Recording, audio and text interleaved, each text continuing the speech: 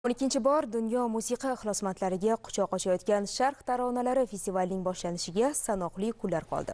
Ko'hna samarqand esa allaqachon bayram libosida. Tadbir ishtirokchilari va mehmonlarni kutib olish uchun oldindan tayyorgarlik mehmonlarga shay. Taklif qilingan mehmonlar ham birin ketin kela boshlaydi. Tayyorgarlikning yakuniy jarayonlarini bevosita kuzatayotgan muxbirimiz zebo to'xtayeva samarqanddan xabar qiladi.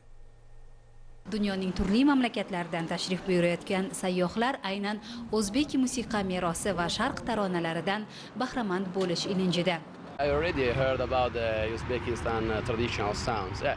Uh, uh, men o'zbek an'anaviy musiqasini eshitdim. U umuman italiya musiqasiga o'xshamasada o'zgacha jozibali. Har bir madaniyatning o'z ohangrabosi bor. Bir biridan o'rganadigan jihatlar ko'p. Sharq taronalari festivali bu borada juda muhim o'rin tutadi. Men bu festival haqida ko'p eshitgandim. Endi o'z ko'zlarim bilan ko'rish imkoniyati paydo bo'ldi. Italiyalik sayyohman do'stlarim bilan samarqandga keldik. Ushbu afsonaviy shahar hech bir insonni befarq qoldirmaydi va o'ziga maftun etadi festivalda jami 300 nafarga yaqin xorijiy va mahalliy jurnalistlar qatnashishi kutilmoqda. Shundan 40 nafari 20 davlatdan tashrif buyuradigan ommaviy axborot vositalari vakillaridir. Ularning ayrimlari samarqand shahriga yetib kelishdi.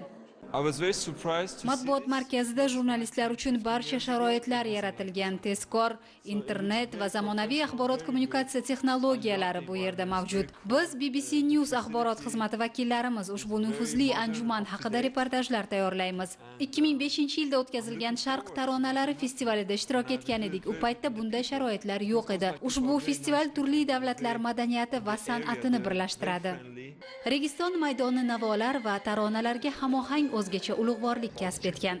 Tadbir uchun sahnaning montaj ishlari yakunlanib 1300 o'rindiqli tomoshabinlar amfiteatrining jihozlash ishlari ham nihoyasiga yetdi. 215 nafar bu ko'ngilli gid tarjimonlarimiz shu bilan birgalikda bugun 100 ga yaqin e, transport vositalari avtobuslar yengil mashinalar va e, 11 ta bugun e, eng zamonaviy mehmonxonalarimiz xizmatga shay bo'lib turibdi. Shu bilan birga bugun samarqand shahri aytishimiz mumkinki o'n ikkinchi xalqaro musiqa festivalida eng ko'p mehmon qabul qilmoqda. Hali e, bu festival tarixida bunchalik ko'p mehmonlar kelmagan va shu bilan birgalikda yunesko bosh kotibi e, odri azula xonimni o'zlari qatnashishlari kutilyapti.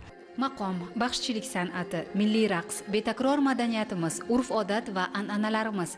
Festivalning ochilish marosimida namoyish etiladigan badiiy ma'rifiy konsert dasturida ushbu jihatlar to'la namoyon bo'ladi.